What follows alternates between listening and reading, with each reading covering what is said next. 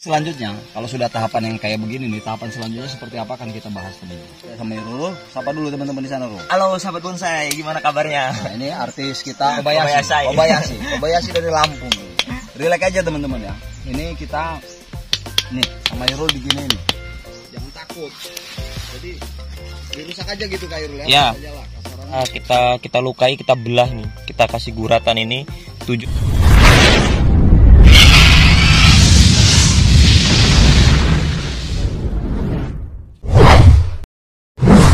Oke baik sahabat bonsai, Assalamualaikum warahmatullahi wabarakatuh. Salam bonsai, salam otak kanan, salam bagi sobat. Sahabat bonsai kita di kebun budidaya kacang Ini di pagi hari, di hari Jumat teman-teman. Saya ditemani kameramennya Ilham ini teman-teman. Jadi kita sama Irul ini teman-teman akan berbagi tips Apa aja yang akan kita terangkan di sini. Oke nyantai ya. Nah ini teman-teman, salah satu yang pernah kita tanam Di beberapa bulan lalu, ini kurang lebih 4 bulan. Nanti saya slide ya, di depan ini adalah dulu waktu pertama kita nanam teman-teman. Nah sekarang perkembangannya seperti apa? Ini ada di hadapan teman-teman. Nah, ini selanjutnya kalau sudah tahapan yang kayak begini nih, tahapan selanjutnya seperti apa akan kita bahas teman-teman. Ini kita langsung sama Irul. Ini kameramen Ilham. Nanti aja ya. Bawa aja Han. Assalamualaikum bro. Waalaikumsalam. Kita dulu ngobrol-ngobrol. Ini, ini salah satu trik yang kita pakai di sini teman-teman. Ini saya sama Irul. Sapa dulu teman-teman di sana Rul. Halo sahabat bonsai, gimana kabarnya? Nah, ini artis kita, ini namanya eh, apa siapa namanya? Kabay Kobayashi. Kobayashi. Kobayashi. Kobayashi dari Lampung. Relax aja teman-teman ya. Ini kita nih sama Irul begini nih. Ini biar apa ini Rul? Oh, bisa Eh. tuh dirusak malahan ya. dirusak di belah-belah akarnya ini biar apa Rul? Biar tujuannya nanti apa namanya membuat eh, badannya itu kekar, Om Iwan. Oh, bisa berpengaruh ya? Ya bisa juga Membengkak ya? membengkak ya. Oke, oke, oke. Nah, ini berapa bulan kita tanam ini, Kak Irul? Ada empat bulan nih Ya tiga bulan empat bulan Om Iwan. Oh, tiga bulan. Ini tiga bulan empat bulan. Nah ini bisa diambil dari sini gambarnya nih, Ilham nih. Nah ini dibelah gini Kak Irul ya? Ya. Diganjel gitu ya. Ya saya ganjel. Nah ini teman-teman. Ini salah satu tujuannya juga biar jadi mahal lah ya. Iya. biar jadi mahal teman-teman. Ini salah satu teknik biar bonsai kita jadi mahal. Inilah Master Kobayashi ini. Gitu ya. Nah ini dulu pernah disayat nih Kak Irul ya. Kayaknya ada ya. garis-garis Ini nih ya. Pernah disayat nih teman-teman. Harus sudah disayat lagi nih. Nah, seperti itu teman-teman. Cara-caranya di dibelah akar. Itu nanti dia bikin alur berarti. Ya Kak sama aja. Sebenarnya dipecah batang juga, eh pecah akar gini juga mempertegas alur juga Oh semua gitu. dari akar ke batang. Eh, Nanti proses dia nutup ini berapa bulan? Yes. Ada sebulan. Ya kurang lebih lah man, sebulan dua bulan Oh, iya. seiring berjalannya waktu gitu. oh gitu. Jadi nanti dia bentuk Berarti akar kalau lagi. dia musim hujan cepat lah ya. Cepet. Semakin Ya. cepat. Jadi cepat dia. maksimal kalau kayak sekarang musim panas maksimal dua bulan. Tapi kayaknya kelamaan ya. Ya. Satu bulan kayaknya sudah nutup kalau dia tanahnya subur. gitu ya. Nah ini ngomong-ngomong nyinggung sedikit masalah kesuburan. Pakai teh kambing ya kayak Ya kalau media yang saya pakai eh, tai kambing ya. Hmm. Tai. Ini tai kambing teman-teman, salah satunya. Cuman nggak nggak sering ya kayak ya. Ya jarang bang. Mungkin waktu ya musim hujan itu. Musim hujan itu ya. Musim hujan kita gasak tai kambing. Berarti kemungkinan satu tahun dua kali lah ya kasih. Ya satu tahun dua kali atau tiga kali. Kalau teman-teman pengen berkualitas bonsai, gitu. itu ya tekniknya itu seperti ini. Kalau ini berbeda kita bukan ngobrol yang liukan ya kayak. Ya. Kalau liukan itu bagaimanapun dia pasti mahal jadi. Pasti. Ya karena prosesnya itu memang. Ya, kalau kayak gini standar teman-teman. Memang kalau yang bagus ya bagus, mahal ya. juga teman-teman. Cuma ya ini tadi kita mempercepat pertumbuhan batang ya. Nah, ini sudah dikasih alas ya Kairul ya? Sudah. Berarti Dikasih udah alas. dikasih tatakan ya di akarnya, Iya, jadi iya. keliling ya? Ya. Tatakannya ya? Dikasih genteng atau apa gitu ya, Ya, Kairul ya? yang jelas eh, tujuannya agar akar itu tidak tidak menunjang ke bawah.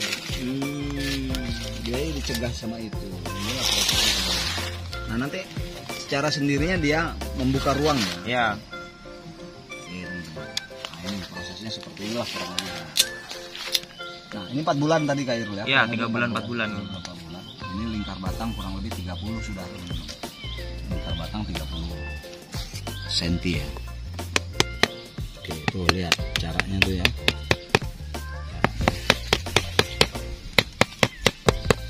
Oke. Oh ini nanti dengan sendirinya dia nggak bentuk ya, ya. sini ya kan ya.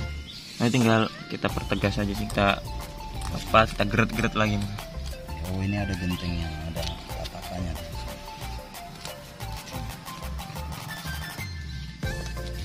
akarnya ada lumayan nih teman-teman ini kira-kira nanti apa mau dibesarkan? Mau besarkan di sini. Besarkan ya. Ya, Fokus dibesarkan. fokus. Ya target satu tahun lah. Bang. Oh, ini target yang satu tahun paling kecil ya? Iya. Minimal. ya. Makanya tahun musim panas besok sudah Sudah bisa dipanen. Oke, mana lagi yang mau di mau dibuat pelajaran Kak Irul? Boleh Kak Irul? Cari yang agak-agak mantap Kak Irul. Mana teman-teman. Nah, ini lokasi budidaya ini yang kedua teman-teman ya. Di samping punyanya Kak Win ada lagi yang beda. Ini gergajinya satunya mana nih? Saya bawa gergaji dua ya. Ini Pak, ikut saya. Kadang-kadang kita pemula nggak berani ya Rul ya. Iya. Membelah kayak gini. Jangan teman-teman, jangan nggak berani, jangan takut. Jadi dirusak aja gitu Kak Irul ya. Iya. Aja lah, kasarannya dirusak aja. Boleh diterangin Kak Irul? Nah ini, ini teman-teman yang cara yang kita pakai di kebun. Salah satunya ini kita kita kita lukai, kita belah nih, kita kasih guratan ini. Tujuannya apa? Agar agar batang bawah itu membengkak ini. Seiring berjalannya kambium, dia membengkak ini untuk mempercepat pertumbuhan uh, Dia body. bengkak jadinya ya Kak Irul? Iya, Oh, itu teman-teman. itu. Jadi nggak usah takut ya. Gak usah Kak takut tuh. Selama dia di ground kayak gini dan karena nutrisinya masih banyak ya. Masih banyak ya. Tanah dia.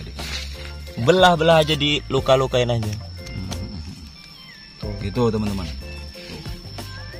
Mantap ya. Nih Nah ini teman-teman pelajaran yang nah, dulu kita nggak berani juga ya belah berani. kayak begini. Boleh kelihat keliling, boleh dilihat keliling. Nah nih, kita nggak berani dulu belah-belah kayak gini.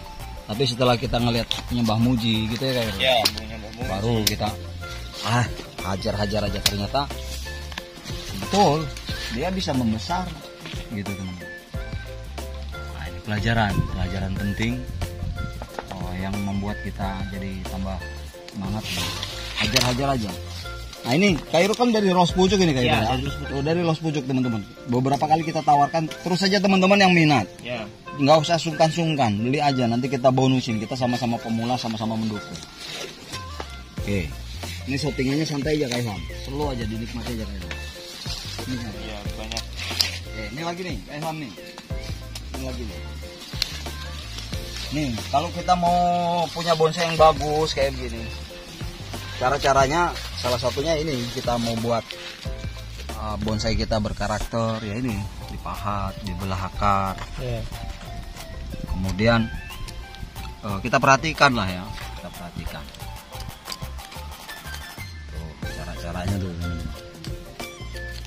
ini nanti berarti kan kalau sudah ini aja satu belum ada satu tahun baru empat bulanan Iya. teman-teman ini sebesar ini kurang lebih lingkar batang rata-rata di sini 30 sudah jadi kalau sudah kita lipatin aja katakan lingkar batang nanti dalam satu tahun 40 ya kayak Ya.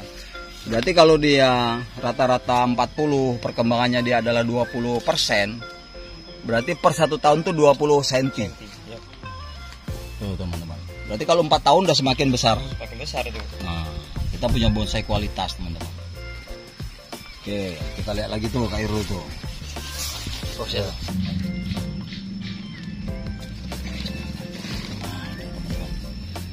Dengan luka kayak gini juga dia nambah akar. Tempelin aja, deketin lagi ham. Nah, tuh teman-teman. Lebih serem dia. Makin dekat. Lebih jaga dia. Sini sini sini. Ini, ini, kita ke sini. Ini, ini salah satu lagi nih. Lah, boleh nih.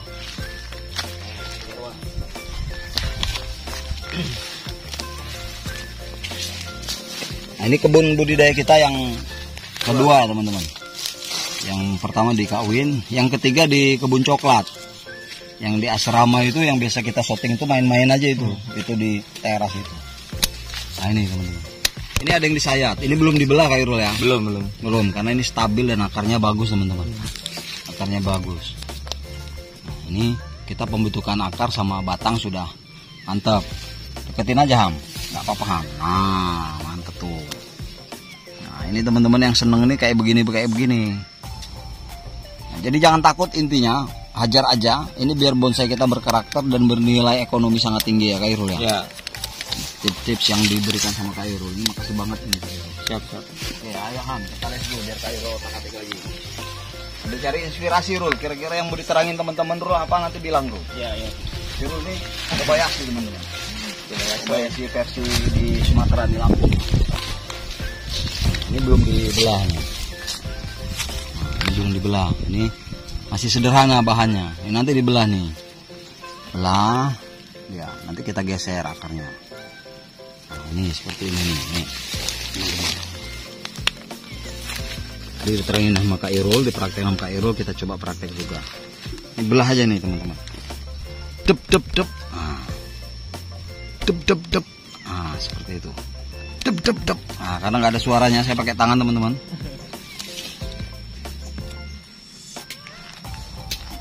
Awalnya dulu nggak berani kayak gini. Sekarang digasak-gasak aja.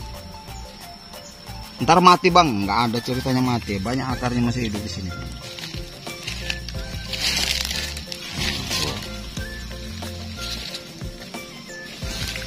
Coba Kairul mana tadi Kairul? Pahatnya Kairul. Tolong ini Kairul. Ini saya tadi coba praktek Kairul. Coba Pak Kairul praktekin Kairul. Eh, Ini coba Kairul. Saya pinjam ya. Saya praktekin oh Kairul iya, ya. siap siap. Ini teman-teman. Wah ada suaranya sekarang teman-teman.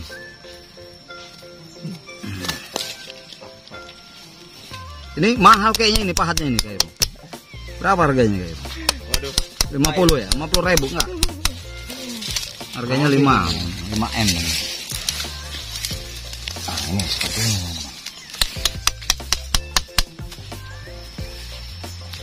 Lama kita nggak kebun nih Sebulan Lebih sebulan Kita yang di pinggir sana ya Sudah kita Sebagian sudah kita ini Nah kalau udah kayak gini diganjel Kak Irul ya Ya. Kita ganjel.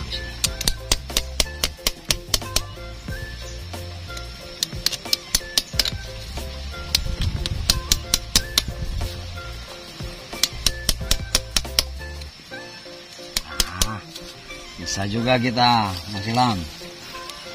Sekarang kita cari kayunya atau batu ya.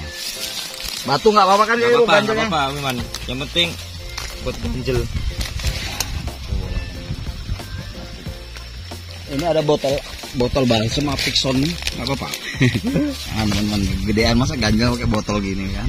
Mana lah?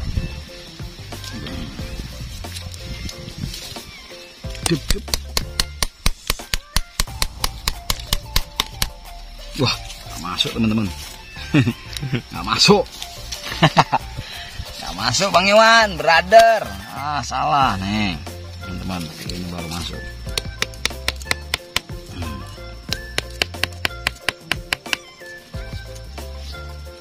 Kurang juga ya?